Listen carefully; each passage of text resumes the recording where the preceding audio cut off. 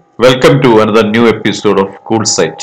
In this video, we are discussing about an issue with the YouTube accounts when you have multiple accounts. All of a sudden, your many accounts have vanished and you can see only one account. You see an error message at the bottom showing that an error occurred and tap for retry and your other accounts are not working. But when you check this in the laptop your all accounts are working. But in android you can see only you can access only one account. But don't worry there is a solution.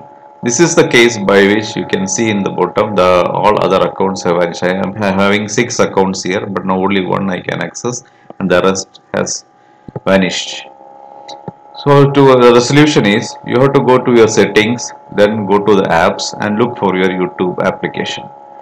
Once you found your your YouTube application you just go uh, click on it and you can see the the tabs for clearing your cache. You have to clear your uh, cache and also you have to clear your storage. Then once both are cleared then you just force stop the application you can see that I have forced up the application now.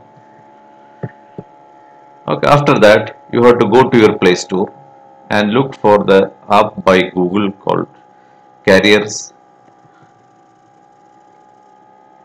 Yeah it has come this carrier services.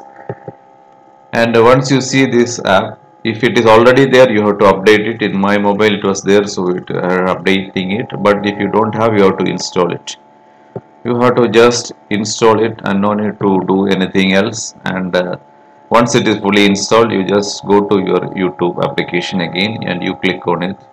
And you are surprisingly you can see that this has repaired the, the issue.